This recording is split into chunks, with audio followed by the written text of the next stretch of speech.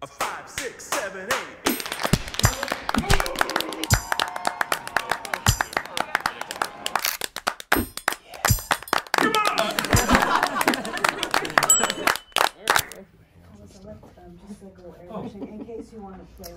So tomorrow I'm heading out on an adventure of um, working on two pieces. First, I'm going to Houston, Texas, um, to make a new piece using the music of David Bowie, um, and then right after that, I go to San Francisco for the premiere of another piece that I already made for San Francisco Ballet um, called The Big Hunger, and it's all this big Prokofiev score. Uh, so I'm going there just for the big premiere. Uh, so I'll be gone for five weeks, and so I got to pack for five weeks. So that's what I'm working on tonight. Come along, won't you?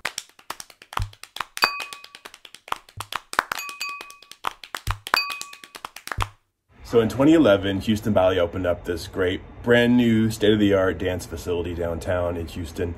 And uh, it's got like massive studios and lots of light and like all the latest equipment to be able to uh, create in. It's really amazing. So that's where I'm making this new piece. Oh, and that's me on the poster. dun, dun, dun. One, two, three, four, five, six, two eights. And in place where you are now, could you just start that? Just like give yourself a little bit of room from even like maybe the five, six, seven, eight, take a little bit of breath. So this piece is called Pretty Things, and it's about what it takes to be the kind of person who is really good at being seen or being a performer, like being uh, being on stage. Um, and it's something I used to have judgments about because I always kind of considered it narcissism. But I think being a performer is a great thing. And so, um, you know, I don't, I didn't want to be in a position of like judging a characteristic that actually lends itself to making someone a performer. Um, so I wanted to make this piece about what's a like what's a non-judgy way to talk about uh, wanting to be in the spotlight and um, what might be really helpful about that characteristic. This is was pretty good today. I think you can lean into it more from the pirouette to like cut out like the separateness of it. Mm -mm, yeah, there we go. Beautiful. That's great. Yeah, and so I think right here too, like exaggerate the hand so it looks like you're doing more than you really are. Dun, dun. There we go. That's nice. That's great. Oh man, I'm so tired after day one. I could barely say words to you, but I will never record this first day because uh, I was feeling super weird after rehearsal. Like I've been out of the studio for several months focusing on other things. And so I walked in today and it felt so foreign to me.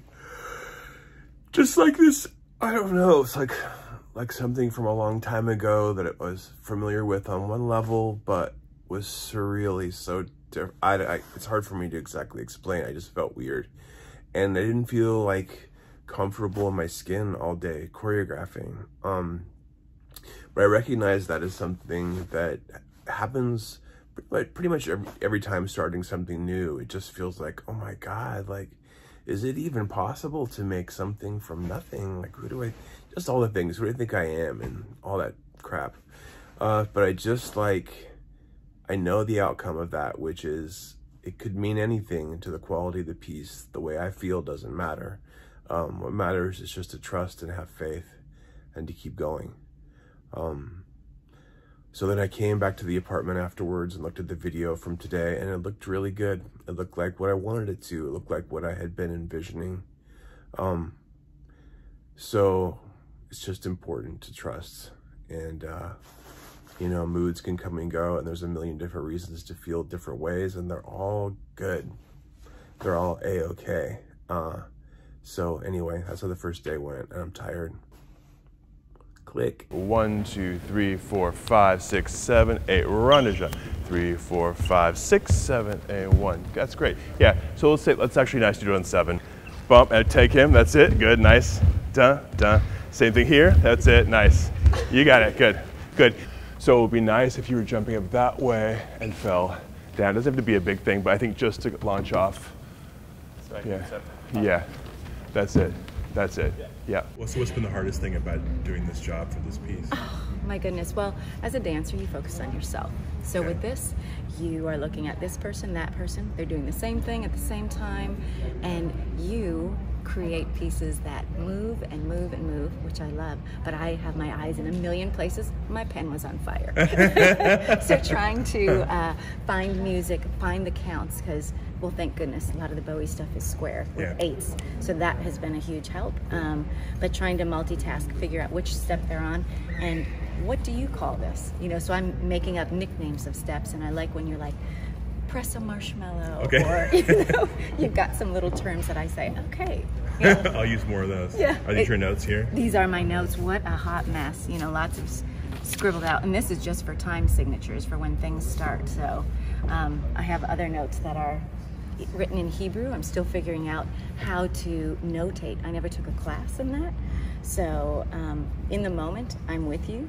But then I go back and look and say, what does that mean? You know.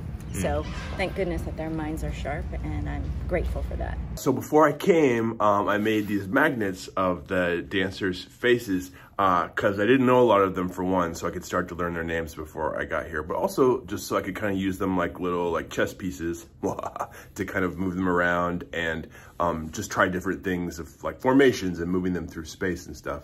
It worked pretty good. I would say it's just a lot of fun. All right. Um, I think your work method is very refreshing um, and uh, inspiring, actually. Oh, Yeah. that's amazing. What a Yeah. nice thing to hear. right on. Uh, so I've really enjoyed working with you, actually. amazing. Yeah. Floor five. Beginning of week three in Houston, and um, I'm getting pretty close to the end. There's just, uh, it's the finale, and I'm doing something kind of different with the finale, so I'm taking my time with it. Um, it's gone really well. Like most days have been very special and very like just in the flow, and the dancers have been incredible. Um, all that. There was actually though one day I want to talk about when things didn't go well, and it was um, I don't know about a week ago, I guess, and I just came in and like my first feeling was, and this is a familiar feeling, like, why, boy, the dancers, I like, the dancers are really scattered today. And like, they have a scattered energy and, you know, why aren't, like, having this conflict, like, why aren't they with me? And I don't know if that's the case or not, but like, what I had to really stop and think was, oh no, I'm off today. Like, I don't really feel in the flow. And so the energy doesn't feel right. And so I think, you know, it's just human nature. You start like looking for a thing, like, it must be that over there. And so I just had a realization, like that moment in the studio, just like, don't put that feeling off on them. You don't know where it's coming from.